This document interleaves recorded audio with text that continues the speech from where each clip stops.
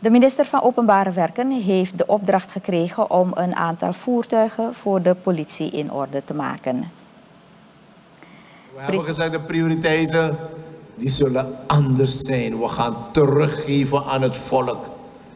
En de minister van Openbare Werken heeft al opdracht gehad. Dat is een issue van veiligheidsgevoel. Hij moet zo snel mogelijk die 150 politievoertuigen brengen voor de politie. Alle straten moet je politievoertuigen zien. Alle resortbureaus moet je politievoertuigen zien.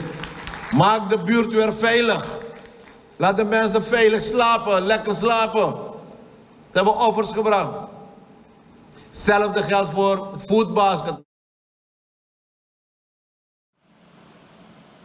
Santoki ging ook in op de foodbaskets die voedselpakketten distribueren en dichter bij de samenleving gebracht zullen worden. Over mensen die sociale steun nodig hebben, zei de president dat er ook een nieuw team bezig is bij het ministerie van Sociale Zaken en Volkshuisvesting om het bestand van mensen die sociale steun nodig hebben op te schonen, zodat de juiste mensen daarvoor in aanmerking kunnen komen.